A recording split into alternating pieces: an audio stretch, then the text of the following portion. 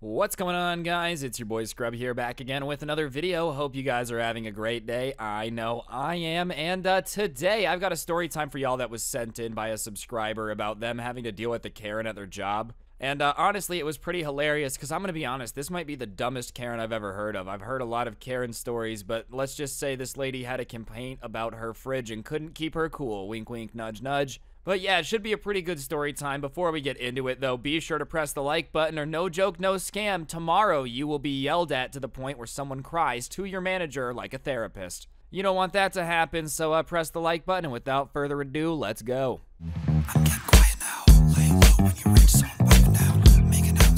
Alright guys, so as I said, this story time was sent in by somebody, and I'm not going to expose exactly where they work at, but in order for the story to make sense, I kind of have to expose where they work at. And uh, it's an electronics store that some people would say is the best place to buy your electronics. There you go. Clap, clap for my uh, ability to keep that a secret. Regardless, this person has to deal with a lot of like delivering of appliances. Whenever you order something from this place, buy something there, and it needs to get delivered to your house and installed and whatnot, this is the guy who comes there and does it. And because of that, he's been to a lot of houses He's installed a lot of fridges, he's put a lot of sound systems together, he's had to just deal with a lot of people having stuff installed in their homes. And one thing that he's said is the Karen he encounters here are like the absolute worst because it's the type of people that have spent a lot of money on something they probably don't need. Like, obviously, you need a fridge, you need a dishwasher, but when it's like a $40,000 sound system, it's somebody who's got a lot of money to blow on stuff they don't need, and they're very particular about the way that they want things done. And because of that, they just tend to be very good at dealing with these types of people, just making it work out so the job can get done, everyone gets paid, everyone's happy.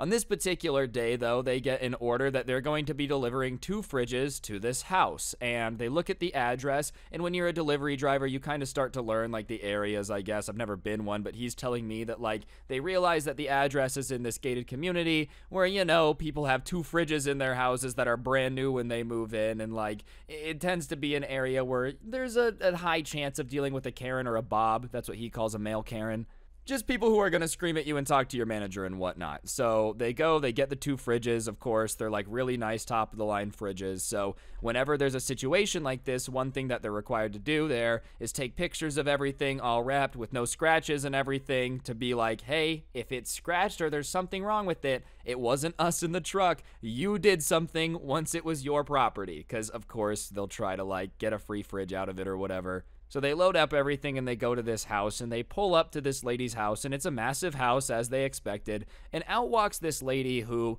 looks a little bit uh, eclectic, eccentric, I guess you could say. She's wearing some questionable things. She has like a cheetah print pants on with a tiger print shirt, and in her hair is literally like, you know, some people times put feathers in their hair. She has like a full bird, like a taxidermied bird in her hair, like spreading its wings. So obviously, they're, they're kind of caught off guard by the way this lady appears, you know, and don't judge a book by its cover.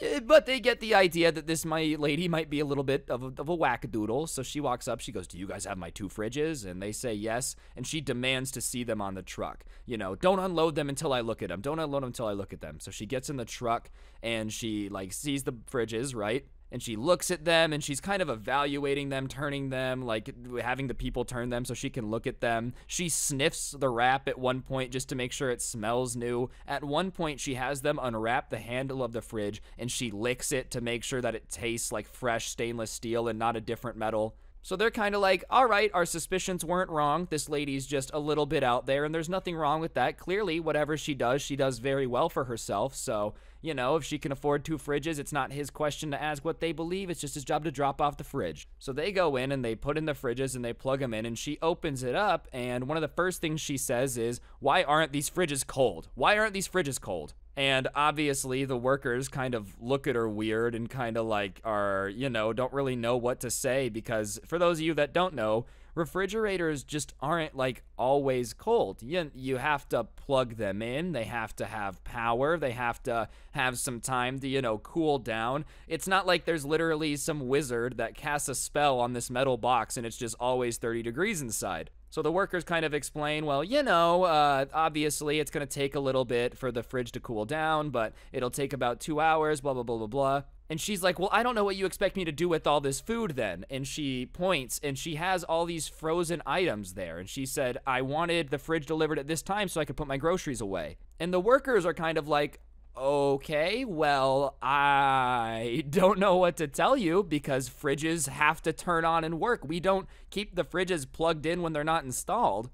They've been in the back of a truck. It's the middle of the summer. Obviously, the fridges are, are going to get hot. I don't really know what to do and she starts saying that they're responsible for all the food that's to spoil and there's so many starving kids in this world and you know they have that on their hands. They need to sleep at night knowing that they ruined food that a family could have eaten and now there's kids hungry because of them. And they don't really know what to do because truthfully it's like okay i guess you're mad at us for not pre-cooling your fridge but why why in the world would we do that like that's just not something that people do, dude. Like imagine them installing a TV and you being annoyed that they didn't pre-log into your Netflix account for you. Like basically the same situation here. So she's yelling at them and she starts saying that she's going to refuse to sign for the delivery or pay until they like fix this somehow. So obviously they're kind of like, well, this isn't good. The guy in charge of the delivery, the person who sent this in is just kind of like one of the delivery guys, goes out to call the store and ask what to do and he goes out there with them and he's listening to the phone call and he has the manager on speaker and the manager picks up and he's like all right we got a problem. The person's not going to sign. Well why? She's really mad that the fridge didn't come pre-cooled. And the manager on the other end is like silent and goes are you messing with me? Like is it april fool's day? Like are you guys kidding? And he's like no she just refuses to sign. She's like getting really mad that we didn't pre-cool the fridge because she bought all this frozen food to be delivered right when we got here or a little bit before. Like, we don't know. There's frozen food. She's mad that's going to go bad because we didn't deliver the fridge when pre cooled.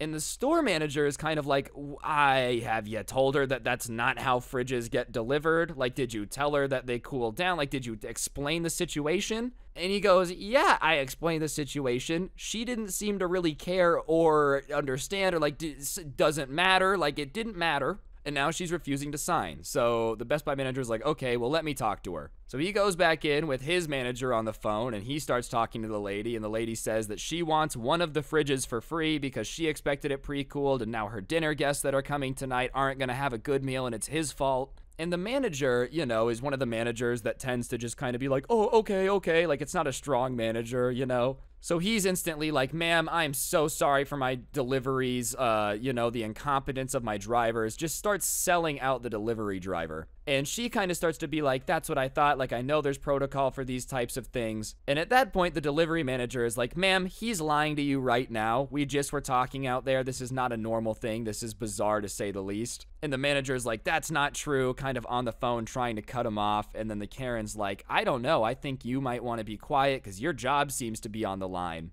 And at that point, it was like the delivery manager had just had enough, bro. I don't know if he had just been yelled at by Karens too many times or like the boss had pretended to have his back, gotten in front of the customer, and then reamed him out. But he's like, you know what? I quit. I'm done. You guys figure it out. Fridges don't come pre cooled. You're stupid. I don't know how you have so much money. And you know what? I'm out of here. You guys can uh, pick me up if you want and take me back to the store, or I'll Uber, but I quit. And he took off his like shirt because they have these delivery shirts and he just walks out of the lady's house. And before he does it, he grabs the phone, tells the manager to F off, and hangs up. And at that point, the Karen is kind of like out of control of the situation. So she starts running after him, saying that this is all his fault and he just lost his job. And she like grabs his arm to pull him back. And he just goes, Lady, I quit. I quit. Fridges don't come pre cooled. I don't work for them anymore. I don't know what to tell you. And literally just started walking off the job site, just left. And the person who sent this in, you know, wasn't in a position where they could really just walk off their job like that. So he calls the manager and they kind of work it out. The lady ends up signing for the fridges. I think she was so embarrassed by the fact that the guy just quit and walked off that she just decided to pay. And here's the thing fridges don't come pre cooled, but like, if you're obviously buying $40,000 in fridges, you got the money to pay for it. It's kind of lame to go be begging for a free one. Like, everyone wants to act baller, right? Oh, buying all the top line equipment. But, like, you know what's really baller? Not trying to beg for stuff for free, bro. Regardless, the Karen decides to sign for stuff and then she starts trying to like apologize on the phone, you know, and trying to make the guy who quit seem like crazy unreasonable. Like, can you believe he would do that to the people that are still there? Alright guys, I'm gonna interrupt the video for just one second. If you take a look at your screen now, you will see a gift card code. For those of you that don't know, I give away a gift card in every single story time I tell here on this channel as a way to say thank you to you guys for being subscribed and having on those notifications. So if you don't already, turn them on. I would appreciate it. And of course, if you already do, then you're a legend, and I'll shut up and get back to the video. Thanks. Anyways, everybody's just trying to get out of there, get the delivery done. So they're just kind of like, yeah, whatever. Yeah, yeah, yeah, yeah, yeah. So they sign off, they go. Anyways, the next day, the person who sends this in comes into work, and his manager comes over and says that, like, what are they thinking? Da da da da da. They delivered the wrong fridges to that lady's house, blah, blah, blah, blah, blah. And he's like, we definitely did not deliver the wrong fridges. That's the one that the manager walked off the site of, remember? Because you were on the phone with him. And he's like, oh, this is the same lady? And he goes, yeah. Well, apparently she had called the store the next morning and said that they delivered the wrong shade stainless steel fridge to them. It was not the one that she had seen in the store. Well, this lady apparently didn't realize that that was the only model of stainless steel fridge that this particular company had, so it had to have been the same color, and she demanded a replacement.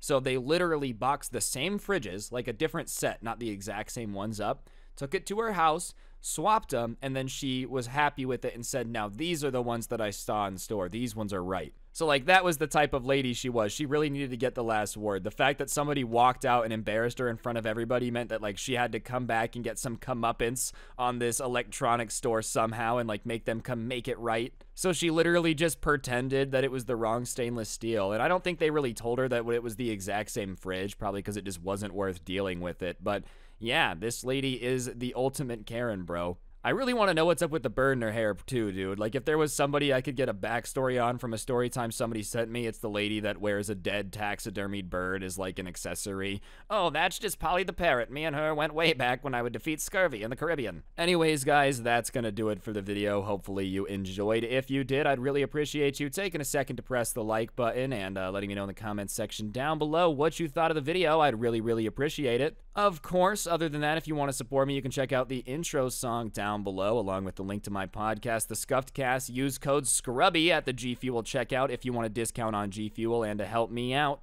And last but certainly not least, if you take a look at your screen now, you will see the coolest merch to ever exist on the history of the planet, which can be yours by taking a trip down to the description and getting it. But uh, yeah, on that note, guys, that'll do it. Don't get anyone pregnant. If you do, make sure they're hot, and hopefully I'll see you guys next time. I'm out. Peace.